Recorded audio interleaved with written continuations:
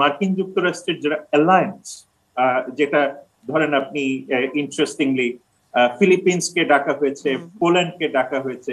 ফিলিপিন্সের democracy নিয়ে যথেষ্ট রকমের কিন্তু হইচই মার্কিন খুব মার্কিন যুক্তরাষ্ট্রেই আছে।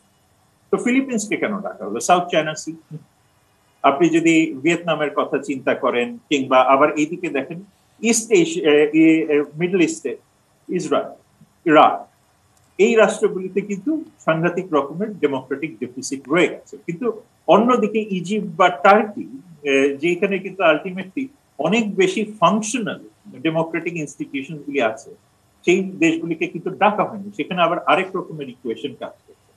সুতরাং এই যে ইকুয়েশন গুলি রাশিয়া কার কাছে কতটুকু কাছে আছে, পাকিস্তান এই মুহূর্তে মার্কিন যুক্তরাষ্ট্রের জন্য ভয়ঙ্কর রকমের জরুরি একটা এখন সেই রাষ্ট্রের সাথে তার সম্পর্কের মোডালিটিস গুলি তাকে পরিষ্কার করতেই হবে।